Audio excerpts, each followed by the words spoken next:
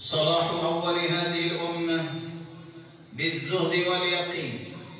جب یقین ہو جائے تو رب گرنے نہیں دیتا سلام علیہ الصلوۃ والسلام، جب انہوں نے دیکھا کہ چھوٹا بچہ ہے، جب انہوں نے دیکھا کہ اکیلی عورت ہے، اس کو وہاں چھوڑ کر تو آ گئے۔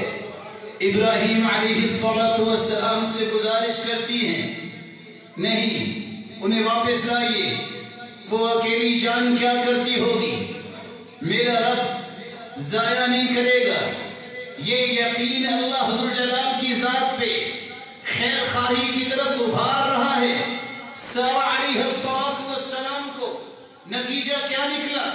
پہلے سارا علیہ السلام کے پاس بھی اولاد نہیں تھی۔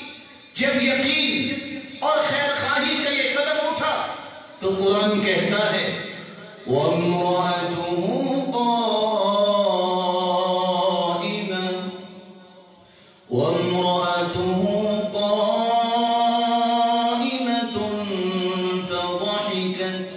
فبشرناها بإسحاق ومن وراء إسحاق يعقوب.